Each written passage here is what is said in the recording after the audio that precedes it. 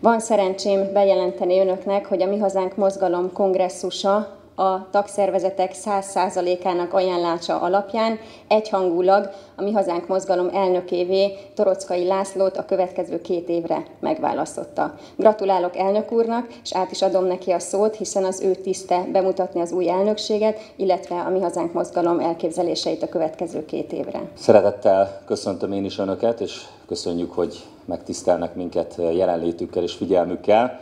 Akkor kezdem a a most felállt új elnökség bemutatását. Rögtön ugye hölgyeké az elsőbség, és egyébként is, ha nem is százszázalékos, de nagyon-nagyon nagy támogatottsággal ismét alelnökké, a Mi Hazánk Mozgalom alelnökévé választották Dúró Dórát. A kongresszus szintén az elnökség tagjává választotta, alelnökké választotta Pakusza Zoltánt, aki Miskolci képviselőnk, ugye ő egy új tag, Dúró Dórát én azt gondolom, hogy nem is kell bemutatnom, elnök helyettes, illetve országgyűlési képviselőnk, a képviselői csoport vezetője, Pakusza Zoltán viszont vidéki képviselőnként, egy megyei jogú városban képviselőként tette eddig a dolgát, most pedig már mostantól az országos elnökség tagjaként folytatja. A jobbomon áll dr. Apáti István, aki országgyűlési képviselőnk, és aki viszont szintén a keleti régiókat képviseli, vidéki erőket jeleníti meg, mellette pedig Dós Dávid, aki alapító tagunk, eddig is elnökségi tagunk, Cserhát Haláp polgármestere, illetve Nógrád megyei képviselőnk a megyei közgyűlésben,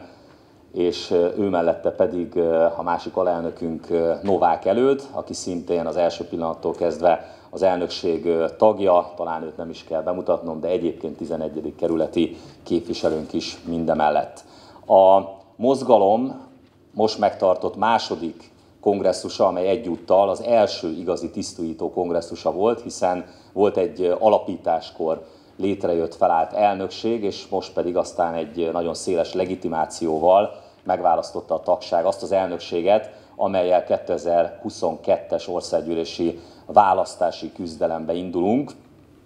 A mozgalom tagsága a mai kongresszuson egyértelművé tette, hogy az irányvonal jó, az irányvonalunkon nem kell változtatni, hiszen ma Magyarországon két nagy tömb van, az egyik oldalon van egy egyesült balliberális tömb, amelyhez soha nem akarunk tartozni, hiszen az egész eddigi létezésünk és a saját politikai pályafutásom is arról szólt, hogy egy ellenséges oldalon álltunk, ez így is fog maradni a továbbiakban is. És van egy másik nagy tömb, a Fidesz körül létrejött erőközpont, amelyhez szintén nem akarunk csatlakozni, nem akarunk tartozni, mert azt gondoljuk, hogy a legfontosabb nemzet stratégiai kérdésekben ez a két nagy tömb, akár a balliberális oldal, akár a Fidesz oldala ugyanazt képviseli. Az egyik legfontosabb üzenetünk az, hogy mi magyar nemzetgazdaságot szeretnénk,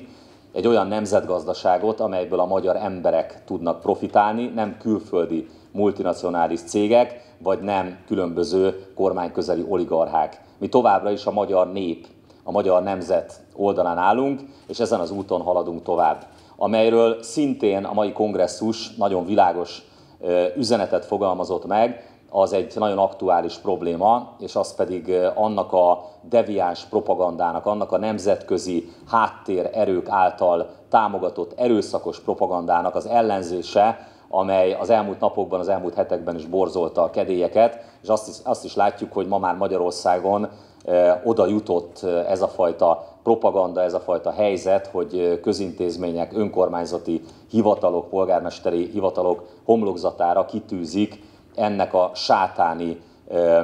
csoportnak a jelképét, amelyet, ahogy az elmúlt napokban, úgy a jövőben is le fogunk szedni, le fogunk tépni, hogyha kell, és nem fogunk megalkudni ezen az úton. És az is látszik, hogy a Fidesz a maga részéről álnemzeti pártként a megalkuvást választotta. Elég volt ehhez az amerikai nagykövet